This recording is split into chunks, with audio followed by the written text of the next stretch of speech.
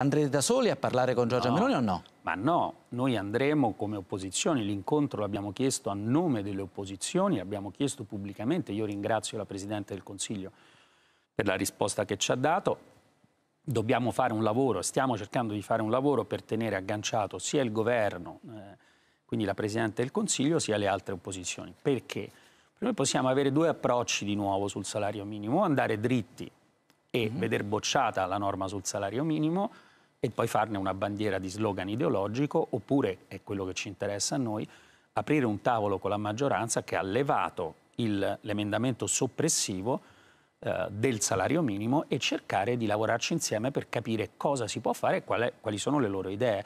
È chiaro che questo vuol dire mettersi in una modalità che è costruttiva. Diceva Luigi Einaudi, scopo dell'opposizione è vedere approvato almeno un emendamento perché secondo, se no si, stanno, sta cinque anni in Parlamento facendo grandi proclami ma non riuscendo ad operare nulla. Noi non facciamo questo.